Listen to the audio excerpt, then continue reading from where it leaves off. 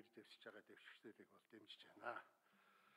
За цэцэд орж ирж байгаа энэ цус сэлбэлт бол бас зөв зөвтэй хүмүүсийн одоо томилгоо сонголт бол зөв болсон байна гэж ингэж үзэж байгаа.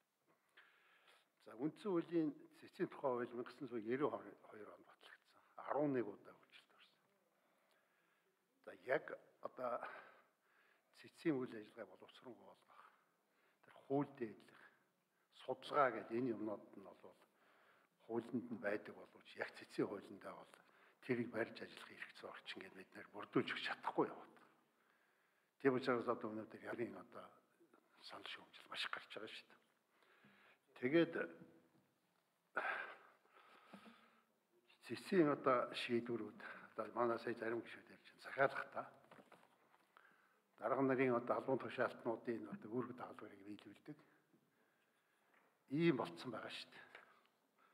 Уг нь бол одоо үндсэн хуулийн биелэлд дээд хяналт тавих гэж байгаа шүү дээ. Үндсэн хууль гэдэг чинь Монгол ард түмний эрх ашгийг л одоо хамгаалах ийм л одоо хууль шүү дээ.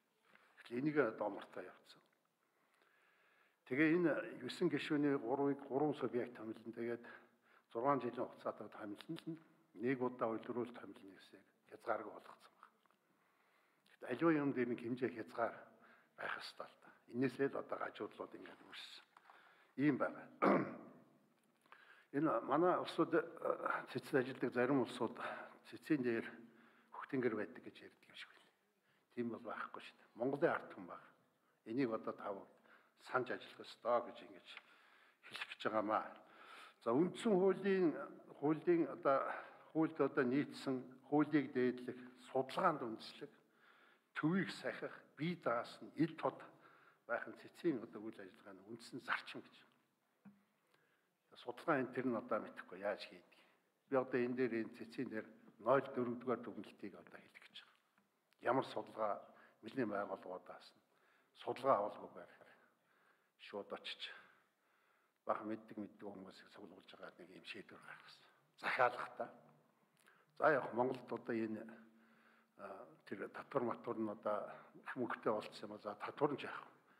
Хамгийн аюултай нь бол энд бол юу гэхээр Монголын ард түмний эрүүл мэндийн эсрэг одоо ийм шийдвэр цэц гаргасан.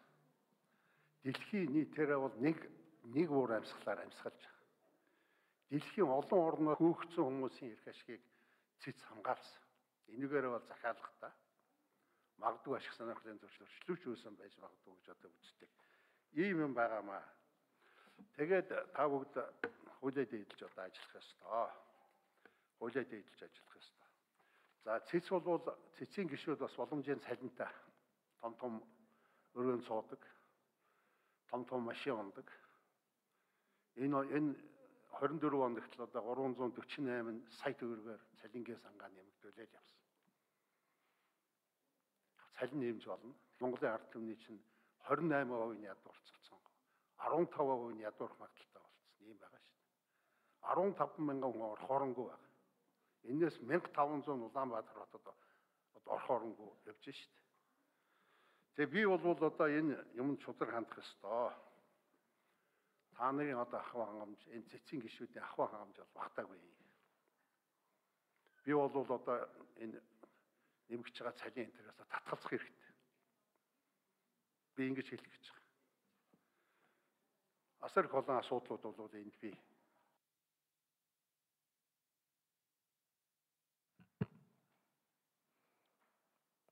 За үгэлээ. Саналлаа Батмагш. За одоо Бадмогийн Батэрдэн гişүн асуулт үг нэг